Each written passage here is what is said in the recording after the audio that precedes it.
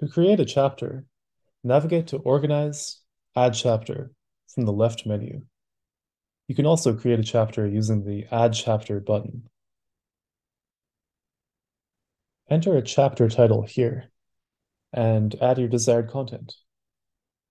You can add a text box, for example, key takeaways. You can add any text. You can add a heading. And you can add media, for example, an image, directly into your chapter.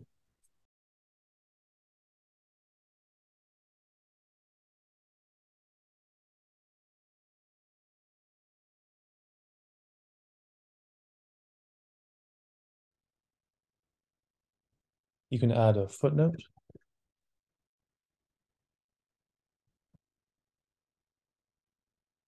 And you can add a glossary term.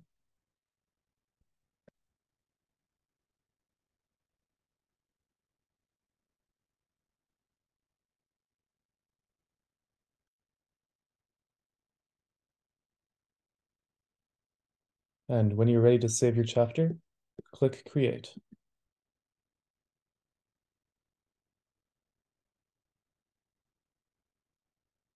When you make further changes, you can save them by clicking the Save button. You can also click the Preview button to view your work in progress.